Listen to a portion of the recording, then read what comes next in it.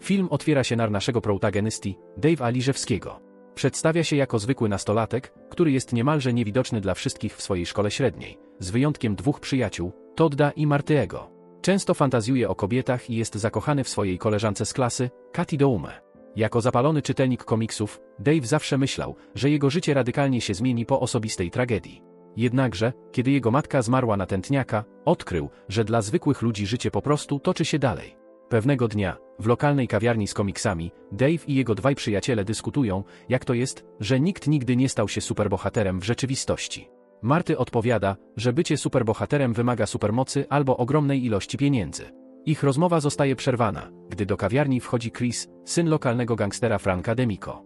Dave współczuje mu, ponieważ mimo, że ma dużo pieniędzy, zawsze wydaje się być samotny. Podchodzi do chłopca i zaprasza go na lunch, ale osobisty ochroniarz Chrisa wysługuje się nim okrutnie. Kiedy wychodzą z kawiarni, Dave i Todd zostają okradzeni przez dwóch członków gangu ulicznego. Zrozpaczony niesprawiedliwością, Dave wraca do domu i postanawia wziąć sprawy w swoje ręce.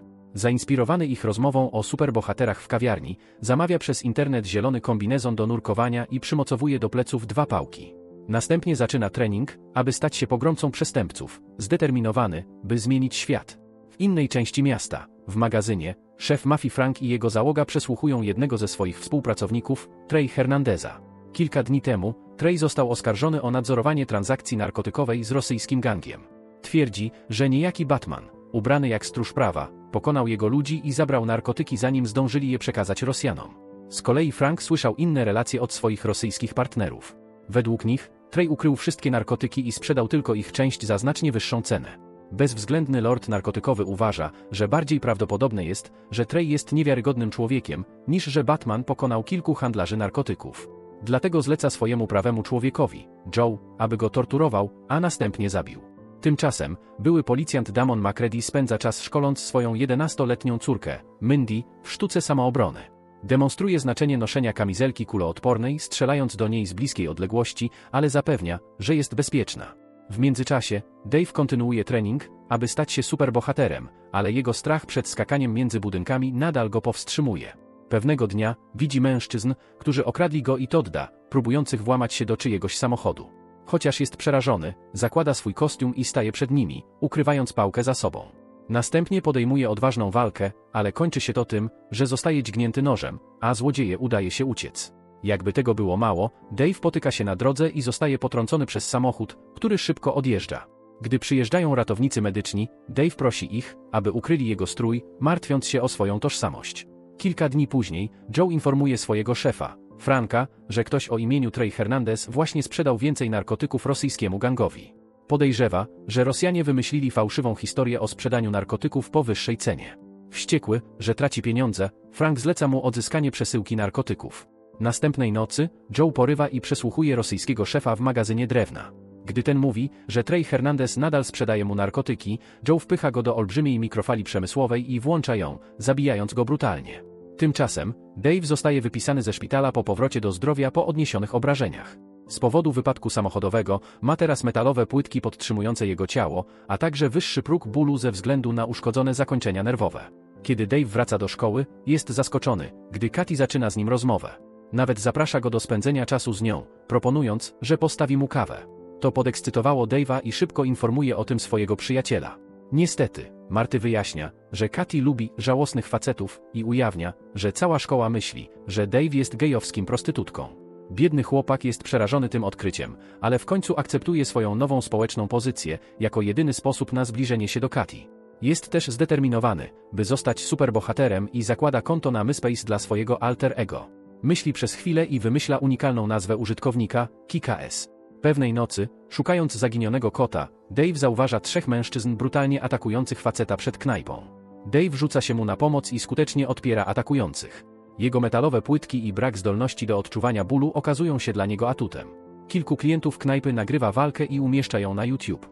W krótkim czasie, KKS staje się internetowym fenomenem i szybko zyskuje popularność w mediach. Chris również ogląda najnowsze relacje z rodzicami i jest wyraźnie pod wrażeniem.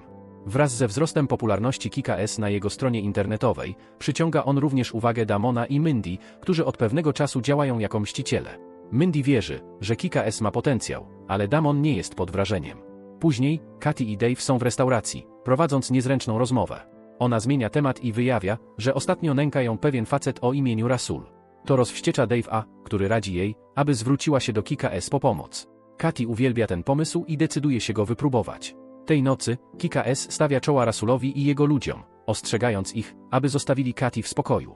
Gdy nie reagują, próbuje ogłuszyć Rasula, ale zostaje powalony na ziemię. Na szczęście, Mindy, ubrana jako hit girl, pojawia się w ostatniej chwili i ratuje go. Ujawnia się jako kolejny mściciel i przedstawia swojego ojca, który nazywa się Big Daddy. Trio walczy z pozostałymi członkami gangu, a ojciec i córka wykonują większość pracy. Po ukończeniu zadania, Mindy kradnie wszystkie pieniądze gangu i ucieka przez dach ze swoim ojcem. Ale ponieważ Kika S boje się wysokości, waha się, czy za nimi podążyć. Czując, że nie jest prawdziwym bohaterem, Dave wraca do domu i zasypia w płaczu. Później w nocy, Big Daddy i Hit Girl odwiedzają Dave'a w jego domu. Chwalą go za odwagę i mówią, że ma potencjał, by zostać wielkim superbohaterem. Ujawniają również, że udało im się namierzyć jego konto na MySpace i ostrzegają go, aby był ostrożny z działaniami w internecie. Big Daddy radzi Dave'owi, aby poważnie potraktował swój trening, jeśli chce być częścią ich zespołu. Poleca mu również, aby ozdobił swoją stronę na MySpace banerem na wakacjach, jeśli kiedykolwiek będzie potrzebował ich pomocy. Po ich wyjściu, Dave znów jest zmotywowany, by kontynuować swoje superbohaterskie działania. Z drugiej strony, Joe pokazuje Frankowi zdjęcie z dnia, kiedy ich dostawa narkotyków została splądrowana. Ujawnia, że jeden z ich współpracowników zrobił je, zanim został zabity. Zdjęcie przedstawia widok z tyłu Big Daddy'ego, ale ponieważ jeszcze go nie znają, Joe podejrzewa, że to może być Kika S. W kolejnej scenie, Big Daddy i Hit Girl porywają jednego z ludzi Franka, Cody'ego. Zakuwają go w kajdanki do kierownicy jego samochodu i wydobywają informacje na temat działań biznesowych Franka. Po uzyskaniu wszelkich potrzebnych informacji, duo ojca i córki niszczy samochód, zabijając go na miejscu. W innej części miasta, oficer o imieniu Markus odwiedza dom Damona i odkrywa jego kolekcję broni. Tu ujawnia się, że obaj kiedyś byli partnerami. W rzeczywistości Damon został wrobiony jako przestępca przez Franka i skazany na więzienie. To spowodowało, że jego żona wpadła w depresję, co doprowadziło do tragedii. Mindy została wówczas powierzona opiece Markusa, podczas gdy Damon trenował w tajemnicy, aby stać się mścicielem i zemścić się na Franku. Po zwolnieniu z więzienia, ponownie zjednoczył się z Mindy i kontynuował jej trening jako partnera. W międzyczasie, Frank myli naśladowcę Kika S z prawdziwym bohaterem i brutalnie go pobija na śmierć. Jednak szybko dowiaduje się o pomyłce i traci panowanie nad sobą. Chris, który cały czas podsłuchiwał, wpada do biura z alternatywnym planem. Chce wcielić się w postać superbohatera o imieniu Red Mist, który jest zainspirowany Kika S. Następnie zamierza zasadzić się na jednego z ludzi Franka podczas transakcji narkotykowej i przekazać go policji.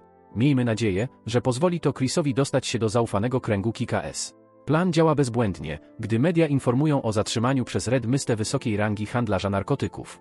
Następnie kontaktuje się z Kikasem na jego stronie na MySpace i spotykają się kilka dni później. Red Mist oferuje, że zostanie pomocnikiem superbohatera i nawet pokazuje swoje efektowne sportowe auto, aby zrobić dobre wrażenie. To wystarcza, aby przekonać Kika S i duo udaje się samochodem do magazynu Franka. Jednak gdy docierają na miejsce, magazyn płonie.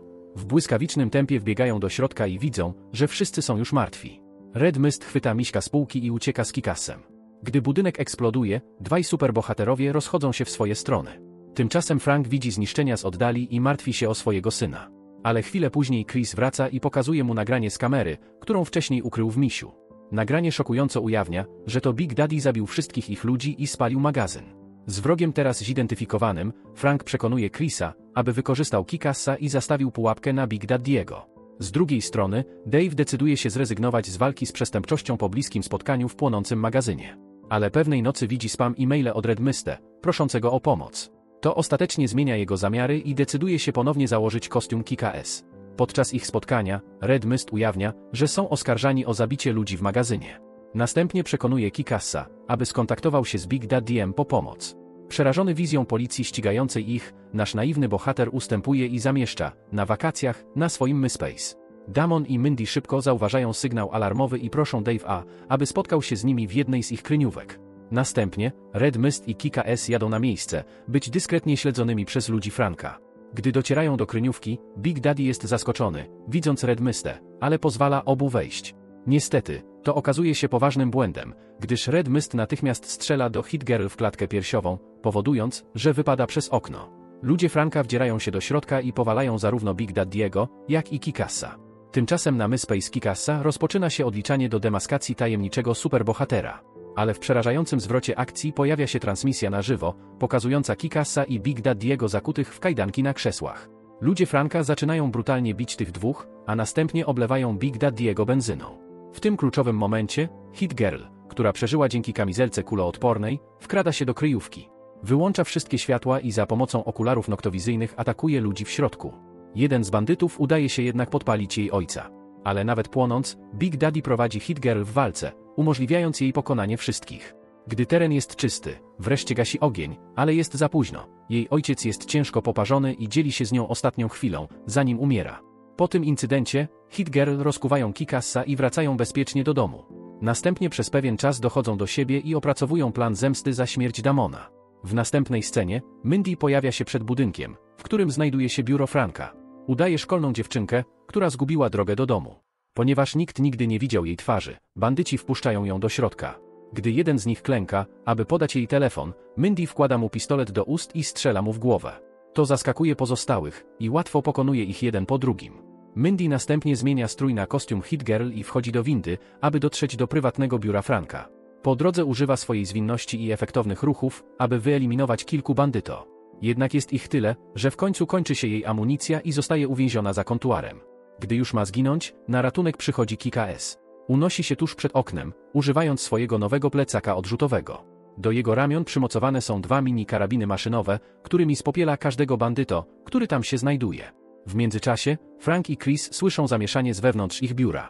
Gdy strzelanina ustaje, zakładają, że ich ludzie zdołali wyeliminować dwóch superbohaterów. Ale ku ich rozczarowaniu, Hit Girl i Kika S wdzierają się do biura, zdeterminowani, aby zakończyć dramat raz na zawsze. Następnie dochodzi do intensywnej walki między dwiema stronami, z Frankiem walczącym z Hit Girl, podczas gdy chłopcy walczą ze sobą. Frank okazuje się być świetnym wojownikiem i w końcu przewyższa młodą dziewczynę.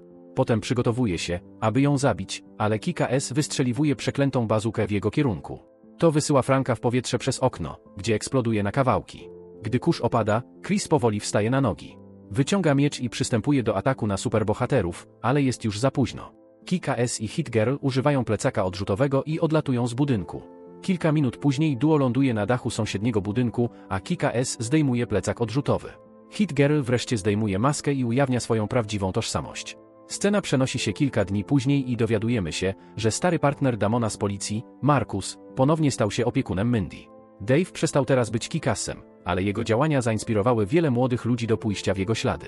Jeśli chodzi o Red Mystę, zaprojektował nowy kostium superzłoczyńcy i planował zemstę na superbohaterach.